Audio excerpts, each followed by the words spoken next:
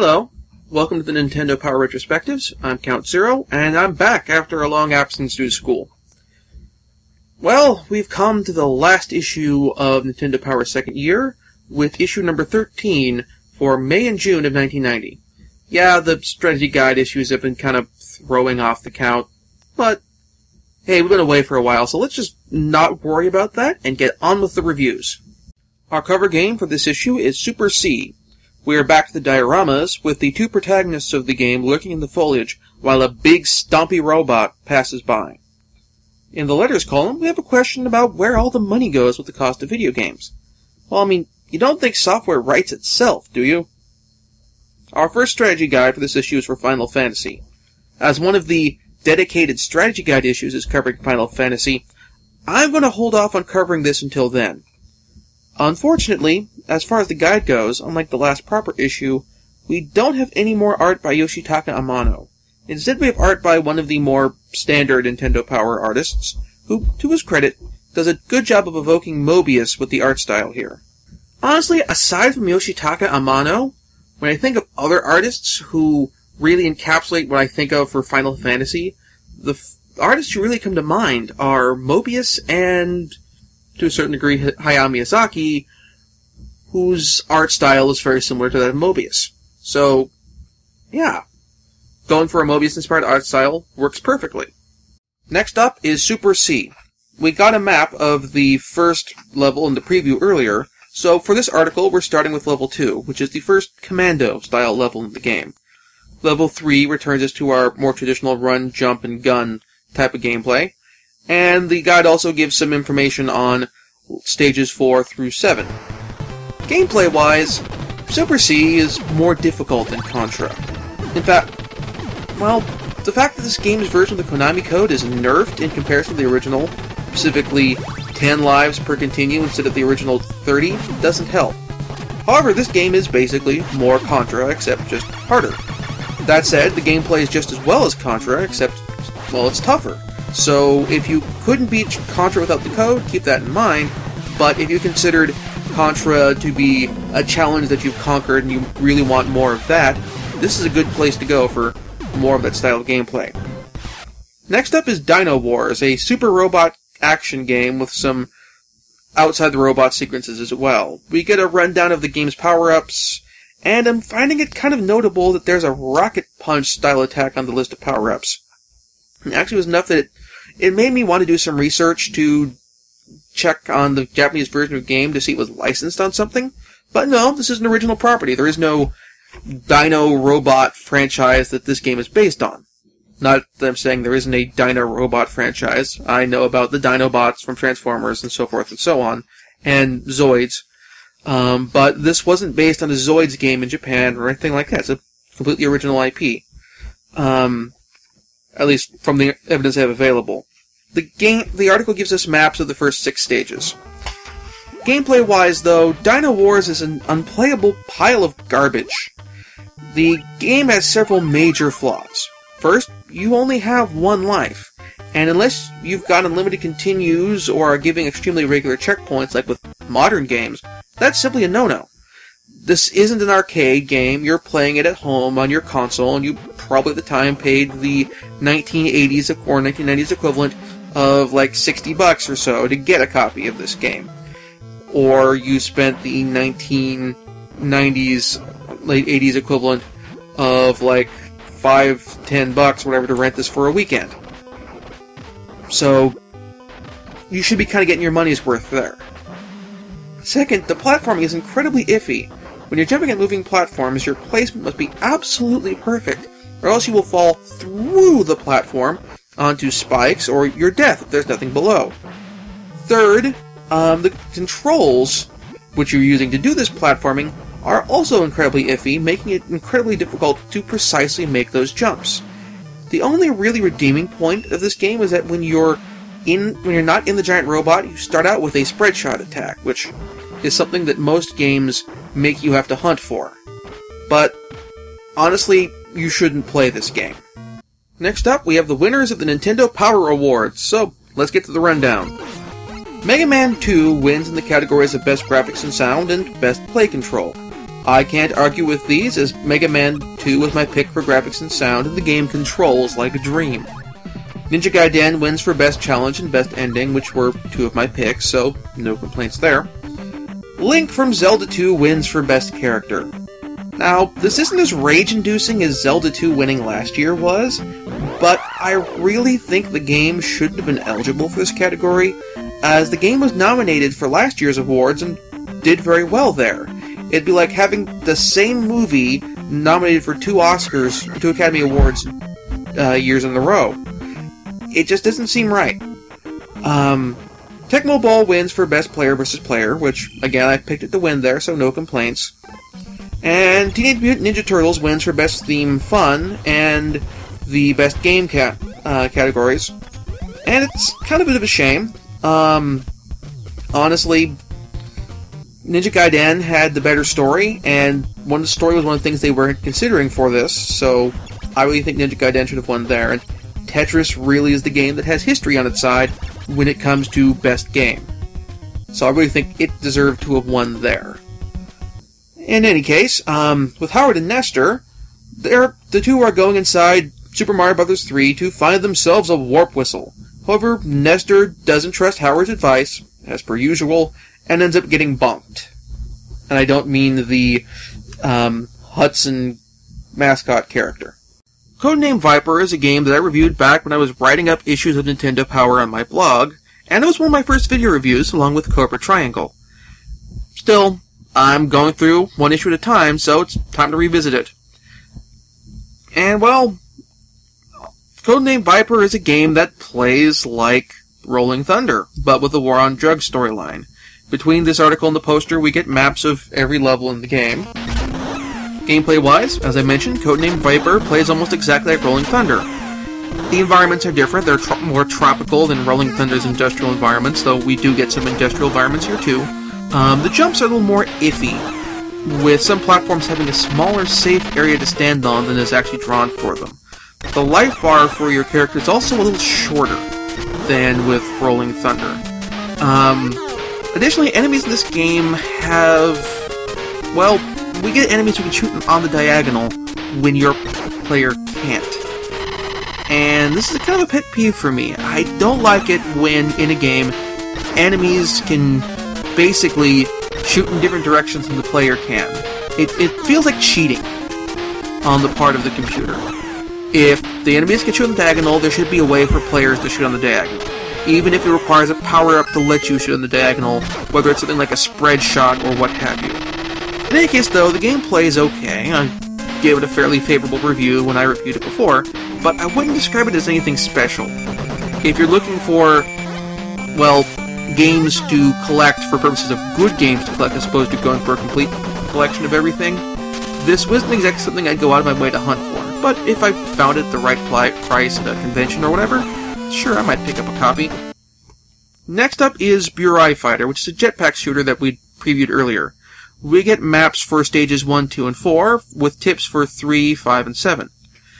Now, gameplay wise, this is the first jetpack shoot 'em up I've reviewed thus far, and I have to say I'm not impressed. The controls themselves are okay, and the levels are decently designed, but my biggest issue with the game is with the hitbox.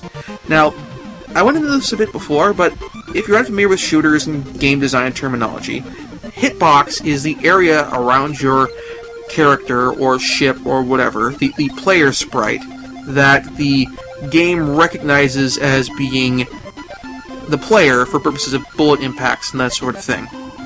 Some games have big sprites with really tiny hitboxes, like some of the um, bullet hell shooters that you can get on like Xbox Live Arcade and that sort of thing. Other ones, the the hitbox is just as big as the sprite, if not even a little larger. Um, well, with some of the jetpack shmups I've played in the past, not for review, but just in general, um, the game gave the player a hitbox that's considerably smaller than their sprite, to compensate for the fact that the dramatically larger sprite has less room to maneuver than a ship like the Vic Viper does. This lets you get through con- more confined portions of environments, that sort of thing. Um, Burai Fighter doesn't do that, or at least isn't consistent about it. Um, this isn't helped by the game using uh, checkpointing like with R-Type, where when you die, you are sent back to the last checkpoint, rather as opposed to having you start back up again where you are, like with Life Force.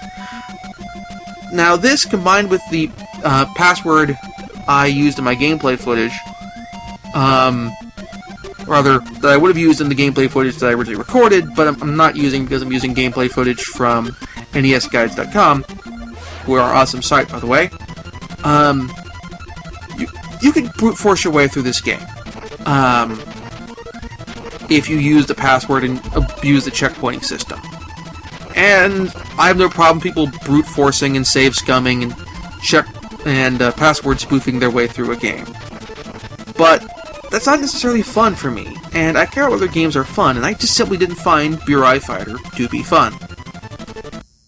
In our top 30 this issue, we have the Back to the Future game somehow making the list.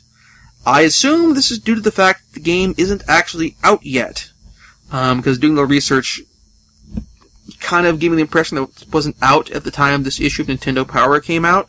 Again, release dates for this period are iffy because there were no hard and fast release dates for video games. But still, I got the hunch that most of the people who voted for this game hadn't actually played it and were assuming it was going to be awesome because Back to the Future, the movie, was awesome. Because, well, I've seen the review from the Angry Video Game Nerd, and this game was terrible. Hopefully, I don't have to review it at any point in the future. Um, we'll see. We have some brief previews, um, with the games here that caught my attention being Adventures of Lolo 2, Tombs and Treasure, and Journey to Silius. In the Game Boy section, we actually have something close to feature articles for two games, specifically the Game Boy version of Batman and Gargoyle's Quest, which is a sort of platformer RPG hybrid that is spun off from Ghouls and Ghosts, or Ghosts and Goblins, or whatever else you want to call that series. Gameplay wise, I'd argue Batman for the NES was, with the exception of Batman's prolific number of guns, the best Batman simulator you could really ask for on a console until we got Arkham Asylum in the modern slash last generation? I'm not sure which terminology to use with the launch of the Xbox One and PS3. Anyway, Batman for the Game Boy, on the other hand, is an abysmal game. First off, the Sunsoft Sine Wave shot is back as one of your weapon upgrades, which is something that the NES version very wisely ditched. Because honestly, the Sunsoft Sine Wave shot is a useless weapon upgrade. In fact, it's almost a downgrade. Um, second, the platforming in this game is very imprecise and very floaty.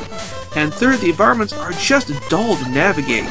Um, even when the NES version was putting you through yet another variation on the industrial environments early on in the game, the levels looked interesting. These don't. This game just isn't fun, and I recommend you avoid it. Gargoyle's Quest, on the other hand, is hard. Like, I can't beat the first level hard. But the reasons for this are kind of difficult to get into. The sprites of the game, the game are fairly large because they want you to give you nice, large, detailed sprites and interesting graphics to look at. Which consequently gives this game a lot of character, which is good for a game. But this also means the perspective is zoomed in very tightly, which means that it's difficult to plan your jumps ahead, which means there's a lot of deaths due to not knowing what precisely waits off screen to insta-give you. This makes the gameplay very trial and error heavy, and honestly, trial and error gameplay is very high up there on my list of pet peeves. So I'm not going to recommend this game, but I'm not going to say it's bad yet. Now, this game was ported to the NES later on in the NES's life cycle. And that version, because graphically you could still have the same size sprites and same amount of character there while having a perspective that lets you plan ahead more, all of that could combine to lead to a much more pleasant and much more enjoyable experience than the portable version of this game. So I'm going to hold up on passing judgment on Gargoyle's Quest as a whole until that version comes around. We then have a preview of Ninja Gaiden 2, which gets a strategy guide later on, so I'm going to focus on the game more there. Then there's also a preview of StarTropics, which is Nintendo's just for the US semi-Zelda styled game. We then have Golgo 13 in the Mafat Conspiracy, now featuring characters smoking in the art in the magazine. Which is kind of a wow moment, because nowadays, if you were making a magazine for the same demographic that Nintendo Power was marketed to back then, and had a character smoking, there would be a crap storm of epic proportions. Also, now the game has much more vibrant colors and environments than the last game and driving stages and I'm actually kind of interested in checking this game out because it might fix a lot of the problems I had with the original Golgo 13. Um, SNK has a post-apocalyptic combination of Zelda and Ys coming out called Crystalis. And in the Counselor's Corner, we have a whole bunch of questions for and about Battle of Olympus, which is good to know since that game's going to get covered in the year two Best of the Rest. In classified information, the password has been cracked for Mega Man 2 now as well, so we get full details on how to use this to get all all your full energy tanks and all the weapons and so forth and so on. In video shorts, we have a look at WCW's licensed wrestling game, with, which comes not only with finishing moves, but also submissions as well, which is something that WWF's uh, WrestleMania game was sorely lacking. In the NES Journal, some guys from Nintendo get to check out Boeing's flight simulators. Yeah, this is around the time when big gyro-mounted computerized flight similar computerized flight simulators were a brand new thing. Also, Nintendo was doing some officially licensed comics to Valiant. But unfortunately, this means that the Legend of Zelda comic is going to be closer to the well, excuse me, princess version than the version we got later for the official Link to the Past comic. Our celebrity profile this issue is for Willie Aames from the show Charles in Charge. Since this issue was published, uh, Aames has become a born again Christian and is basically only doing projects related to that. Which is the second guy we've come to this far in this magazine who's basically gone born again and only done Christian films. Uh, in Pak Watch, we have a look at Castlevania 3, which I'll talk about later when we get a full article about it. Due to the limited number of games this issue, particularly with much, much of the issue being taken up with the results of the Game of the Year polls, there's only one pick I can really go with this time in terms of spaces for one pick. Particularly since there isn't that really that many two-player games available, so I'm going with Super C for my pick of the issue. And honestly, Super C would probably work for both single single player or two player, since much like Contra, it is a two player game. Um, it's hard. I didn't like it because, because of its difficulty, but it's a tough but fair kind of difficulty. Um, the same way that Contra was had a tough but fair kind of difficulty level. I do miss the fact that the Konami code doesn't give you as much help, as many players as it did before, because I liked having the option where if I just want to just play through it and learn everything, I can just use the Konami code to learn where the enemies are and then go through again with the normal amount of players. But still, it works. Um, next time, though, we are going to do the best of the rest for Nintendo Power's second year. I'm not going to be going through and doing the point totals with the games this time. I'll just be going through. And, well, if you enjoyed this show, and you like to see more of them and stuff, give me please subscribe to the channel in terms of when you want to be notified when more are coming out, I should say. Subscribe to the channel, and you'll know when the next episode comes out, as well as when any of my let any of my let's plays come out. And also, please give this video a thumbs up. Um, for that matter, if you look up in the links box, there is a tip jar. Feel free to leave a donation. Um, yes, these videos have ads, but if you've been following gaming news, you'll know that YouTube's copyright content ID policy stuff has been kind of been being a pain in the butt lately. So hey, donations help. They help keep the show running, and eventually they may help get me a gear upgrade so I can be recording this in a better camera and other similar stuff. So, in any case, I will see you next time.